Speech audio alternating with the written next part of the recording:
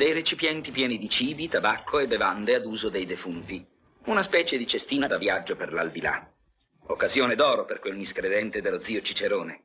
E così tutte le volte la solita storia.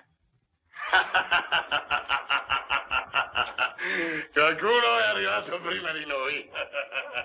Tu hai paura?